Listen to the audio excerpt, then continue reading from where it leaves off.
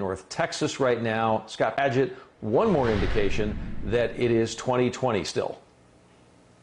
Yeah, hashtag 2020. Uh, this is what we're dealing with. Uh, so today, our temperature is not feeling like October at all. We had satellite and radar combined showing that we did see a clear sky sitting overhead for us down to the south and the east and cloud cover rain in parts of Louisiana. Nothing compared to what's going to be happening later this week.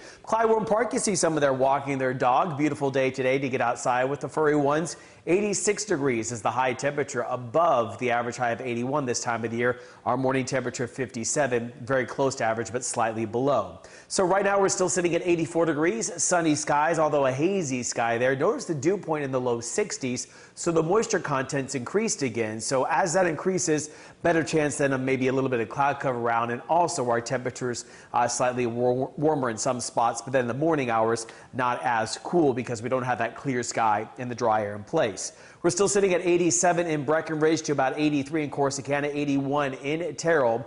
Looking at what's going to be going on through the remainder of the evening hours, down to 72 degrees by midnight.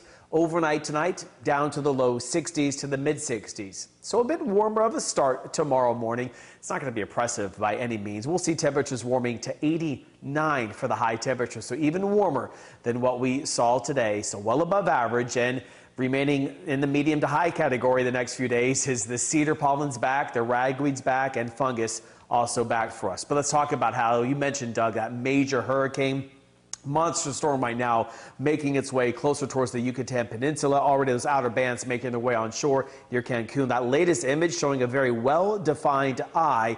That indicates to me a very strong hurricane moving to the west-northwest at 17 with winds at 145. Will strengthen through the remainder of the night tonight into the overnight hours, possibly making landfall near Cancun between Cozumel and Cancun into the overnight hours. Strong category 4, make its way over the Yucatan, then into parts of the central Gulf, and then then getting closer towards the Louisiana coastline by Friday evening as a, a, major hurricane and then making landfall, moving its way inland, going into Saturday, dropping a large amount of rain through Louisiana into Mississippi. So extended forecast shows cooler on Friday, small rain chances, then we warm back up to the 90s before a cool down into Tuesday.